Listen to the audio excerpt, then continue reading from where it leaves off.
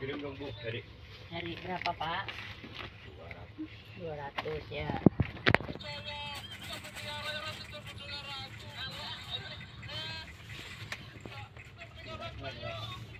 belasnya nanti